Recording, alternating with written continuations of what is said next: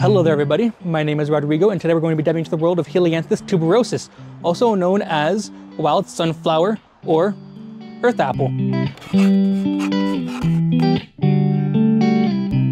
This amazing plant has been growing in North America for many centuries now and is commonly referred to as the Jerusalem artichoke. The shape of the Jerusalem artichoke varies from variety. It can be uneven like ginger or smooth. The taste is like cabbage stalk uh, or radishes, and when fried, tastes similar to sweet potato. This plant grows quite tall. It grows up to six and nine feet between August and September. The best time to harvest is within the fall. To store Jerusalem artichokes, keep them in a cool, dark place like a cellar.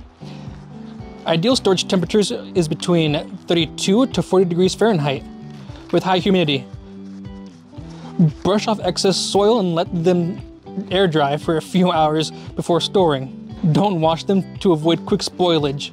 For short-term storage, a cool, dark, and well-ventilated place works best. Avoid storing near fruits that release ethylene gas to prevent sprouting and deterioration.